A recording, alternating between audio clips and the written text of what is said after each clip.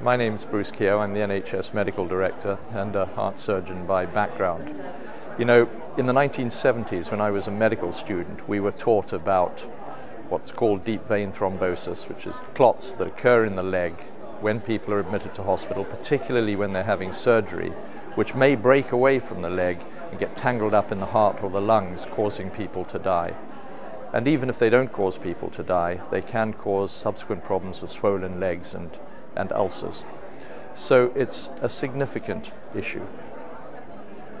If we fast forward now, I found myself medical director of the NHS and I came along in 2009 to a meeting of the All Party Parliamentary Group on Thrombosis to be presented with the most shocking evidence, really, that in our health service, about 38,000, 40,000 people a year die from deep vein thrombosis. And of those, about 70% are preventable, which means that each year about 25,000 people are dying needlessly in our National Health Service.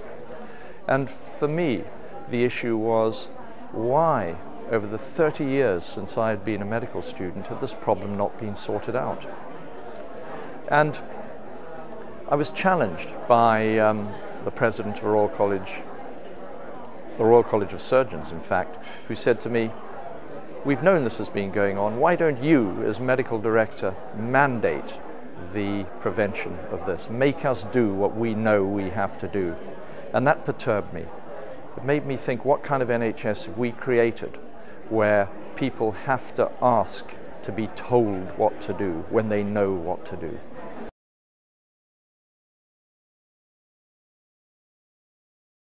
So when I was presented with this information, I was horrified actually that we hadn't been able to solve this problem over the course of three decades. So I went away and worked with clinical colleagues, managerial colleagues, and we came up with a number of solutions. Some of those were around the professions leading on what needed to be done, and others were around the managers in the NHS putting the right kind of incentives and into the system to make sure that people did the right things. And we had to put uh, data collection um, into the NHS as well so that we could have an accurate measure of what was going on and then be able to look and see what impact our interventions were having. And we started that process with the NHS operating framework, which is the document which sets the priorities for the NHS.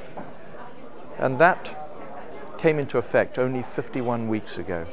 And in the last 51 weeks, I think we've made staggering progress in terms of mobilizing people who work for the NHS, in terms of raising awareness with the, the public as to the, the nature and magnitude of the problem. And I think we're really starting to get on top of things now.